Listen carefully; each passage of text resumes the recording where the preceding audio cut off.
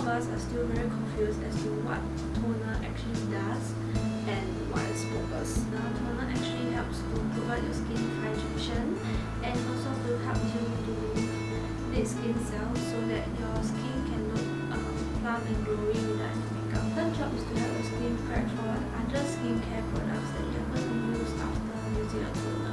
Where does a toner go in your morning and night routine? From what I saw consensus is that your toner should go after you cleanse your face so that the toner will penetrate your skin as the molecules will be absorbed even better when your skin is wet. How should you use toner? So for toner, there are two ways that you can actually use it. The first way is to pour some on your, your palm and then gently pat it into your skin with your fingers. The second way is to actually use uh, cotton pads so you can pour it into cotton pad and then you can dip it into your skin. so now that we actually got our basics down, let's continue to what kind of toner should you use for your type of skin.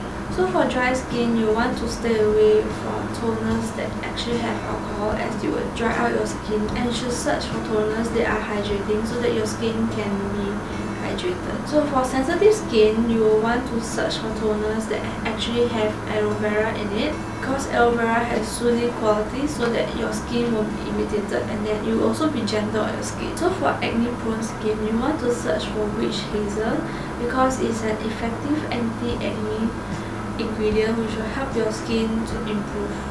And lastly, for combination on normal skin, you can just look for toners that actually help balance the overall.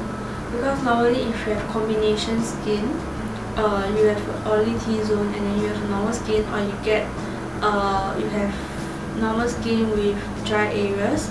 So um, actually searching for a well-balanced toner will help to hydrate the dry skin areas and to keep the normal skin also happy. Or you can uh, moisturize the oily parts and then your normal skin areas will be happy as well.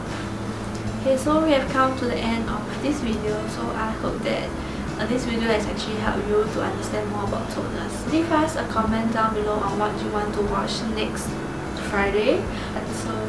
Bye bye!